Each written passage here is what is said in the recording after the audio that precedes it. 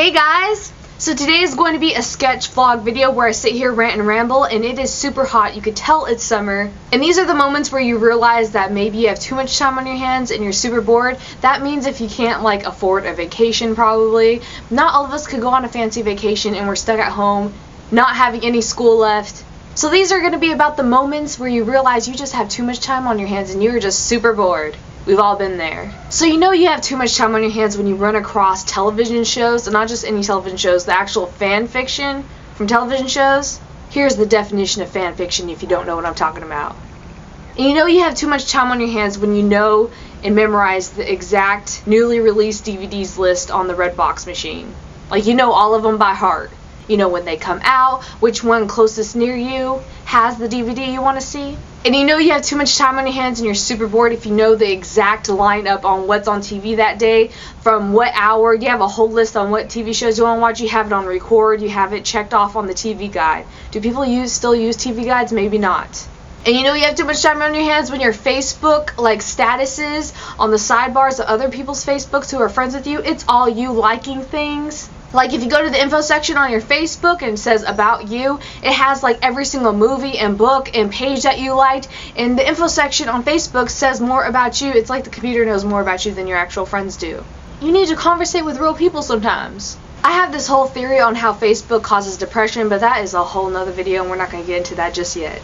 And you know you have way too much time on your hands if your whole goal for the day is practically or you get more excited about beating your score on Candy Crusher or like Temple Run or one of those games that you've spent more money on that game than you have on actual items in real life. And talking about items in real life, you know you have too much time on your hands when you do, I call it imaginary shopping. And that is where you don't like really shop, but you go online shopping with intentions to buy things, but you just fill your cart up with things that you really want, but you don't really buy it. You just have an imaginary cart. It's like, wouldn't it be so nice to like own that? But that's if you're broke too.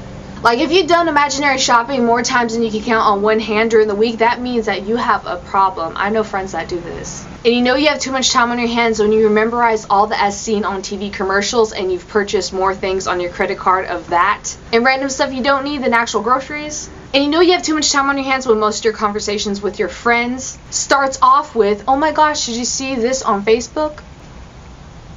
So thanks for sticking around for my rant and ramble, and these were just things that were on my mind lately. So what I would like to know today is what is one thing that made you realize that you have way too much time on your hands? Leave me down in the comments below because last time on Sketch Vlogs we talked about what are some things that you wish that were invented and this was one of my very favorite ones. It is about a machine that shaves your legs. Us girls could use this. I mean swimmers would have a ball like why don't they have this already? Or a device that straightens your hair in two minutes flat. I would use that every day during the summer. Not every day. I like my hair curly sometimes. But you get my point. That'd be so cool and useful. And another one was an app that designed your own bedroom with just a click of the button. It could like fix your bedroom up. Wouldn't that be cool? So I can't wait to read your guys' comments on when you realize that you have way too much time on your hands. Because we've all been there. Thank you guys so much for watching and I will definitely be seeing you soon. And I love you all so much. Bye anxiety, self-consciousness, everything that I deal with and I know a lot of you guys deal with too. I get so many messages and letters sent to my P.O. box and emails and stuff about you guys saying that you feel self-conscious and anxiety, especially when I finally told you guys about my anxiety and everything that I had growing up in my Draw My Life video, and that's why I decided to do this